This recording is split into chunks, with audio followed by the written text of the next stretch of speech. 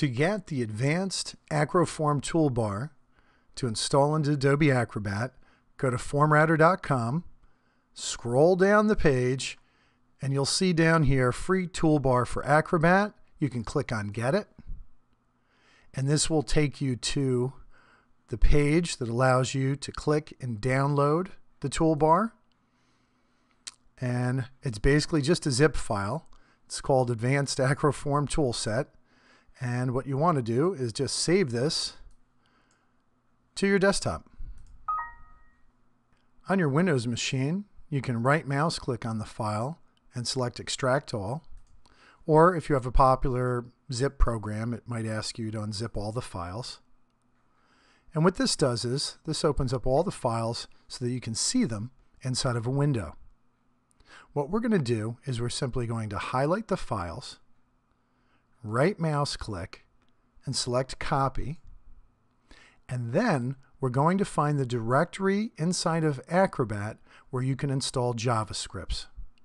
Let's go there next.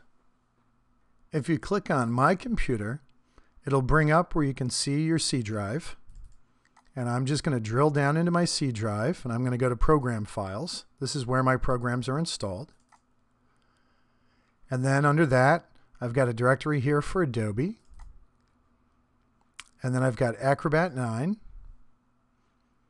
And then I'm going to drill down into the Acrobat directory. And inside the Acrobat directory, there should be a folder called JavaScripts.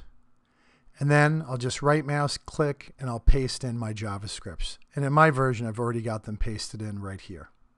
So it's just a simple matter of finding the JavaScripts directory under your installation of Acrobat and pasting these files in. Once the files are pasted in, the next time you open up Adobe Acrobat, you'll find the Advanced Acroform toolbar instantly installed. Here I am inside Adobe Acrobat Pro 9 and here on my toolbar, you can see we've got all of our buttons installed. And each one of these, when you click on it, will pop up a dialog box so that you can configure the features that you want to insert in your form.